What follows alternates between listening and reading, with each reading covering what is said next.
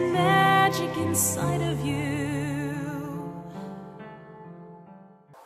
Blessings to all of you beautiful beings. It's Elena and I'm enchanted to have you be here on my channel. Hello and welcome. I'm so glad that you're here. If you're new, consider liking, subscribing, becoming part of my little YouTube family. And if you've been here before, hello and welcome back to each and every one of you amazing, gorgeous, beautiful, incredible souls right across the screen. Lots of love, lots of warm hugs, and hopefully you and yours are safe. On today's video,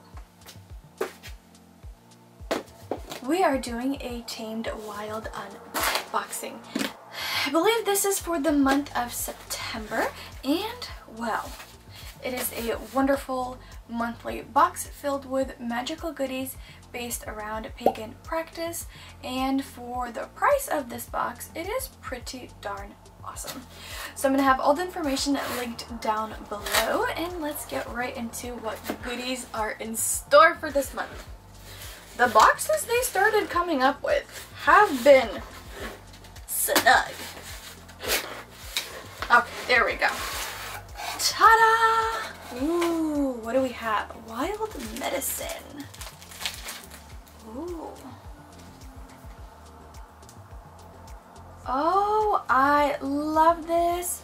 So we have some herbs and their uses and properties and information. I love the little booklets that they have and that they started putting in almost every single box. That is just amazing. So here's the booklet and I'm going to give you a couple sneak peeks on the information within. I love how it's so concise and small and not fully detailed, but enough for you to get the picture and be able to use it. For example, we have mugwort, botanical name Artemisia vulgaris. Description. To some, mugwort is considered an invasive weed. This tall plant thrives in uncultivated areas. Historical uses. Historically, mugwort is used as an overall tonic. Because of its bitterness, it's been a part of the long history of culinary traditions and also is incense in ceremony. Magical uses. Mugwort is considered a divinatory herb and has long been used in lucid dreaming rituals or to enhance psychic abilities. Lore. Mugwort was given its name because in Europe, the herb was originally used to flavor beer prior to hops. Very cool. So information such as that within.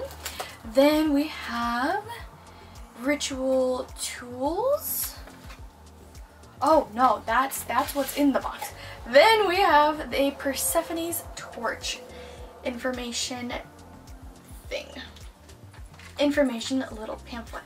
Alright, let's see what kind of things we have in here. It smells quite nice.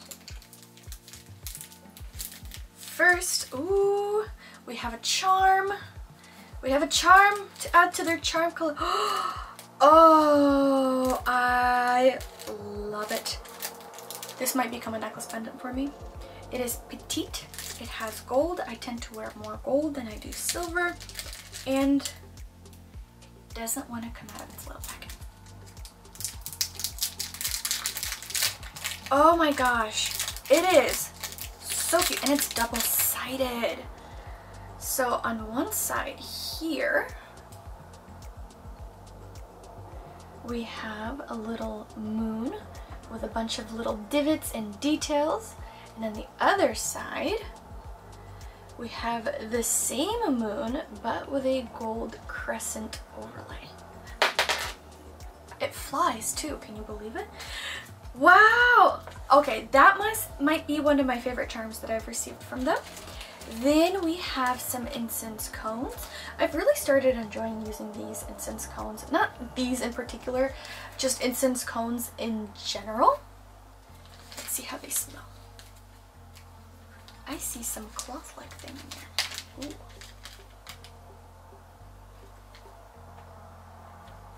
smells a little sour and florally. Mmm, it smells really good. I really like the smell of this. Then we have Artisan Herbal Tea. Contains, I'm not to read it all the way. I just read the black tea part. Let's see what it smells like first.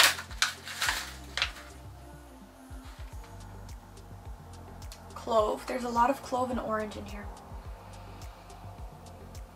Oh, it is a wonderful orange peel, cinnamon, and natural fruit. Fruit. Fruit. Contains black tea, orange peel, cinnamon, and natural fruit flavoring. I smell clove. I smell a little bit of cinnamon. I smell a lot of the orange. Definitely smell clove in here.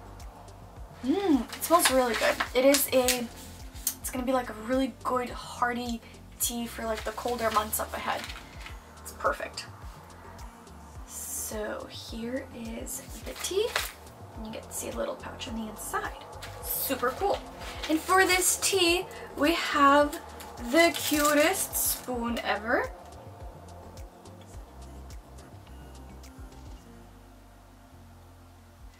I actually might know what manufacturer they got this from because I looked up things for my box and it's it's a potential to be in one of my boxes. Um, maybe not this, maybe something similar, but I have, I, I definitely might know the manufacturer from these, which is pretty darn cool. It is so cute and petite. You could never have enough spoons, honestly. Like, precious. All right, I see this big thing. What are you? Ooh, I love the colors.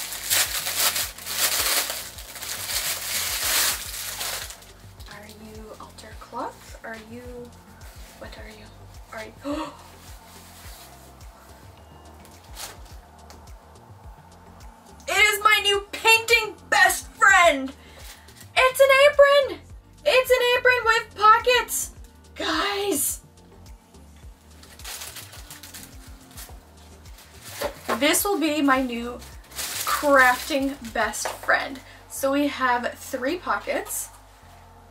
Oh! I love it so much! It's so cute! I'm either painting or like some sort of crafting when I just don't have enough hands to hold everything. Yep. That, that is exciting. That is very exciting. All right, so these are the goodies inside this month's box, I believe.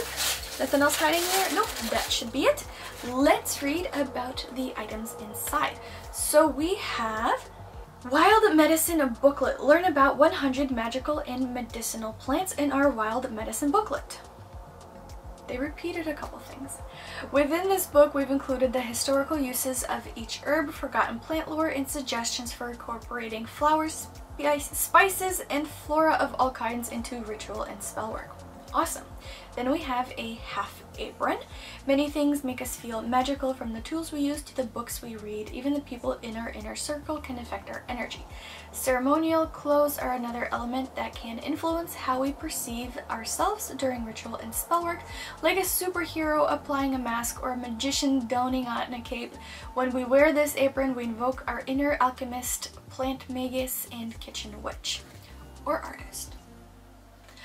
Then we have a leaf spoon, perfect for stirring tea or scooping herbs from jars. Incorporate this delicate spoon into your home apothecary or kitchen altar as you see fit. Then we have the Persephone amulet.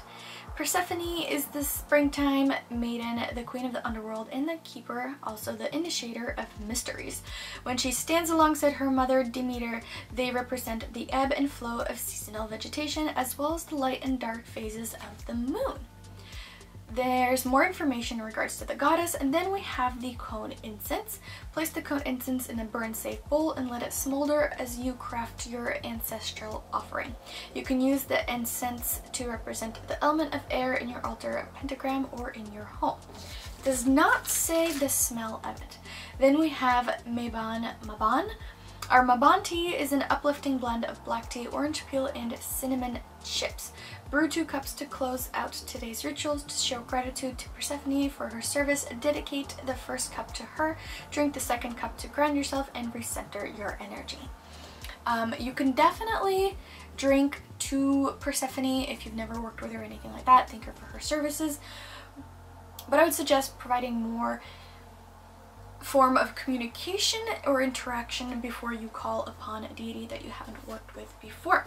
Alright, so here are all of these wonderful goodies. I'm super excited for that. That's definitely my favorite thing in this box.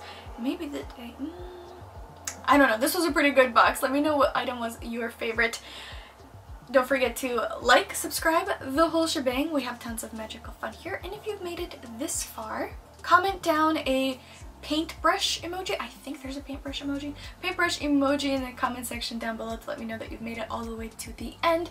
And in reference to this word, wonderful half apron that I'm going to be using for artsy stuff. Yay! Alright, so here's that. I shall see you all on the next video. Love you all. Bye!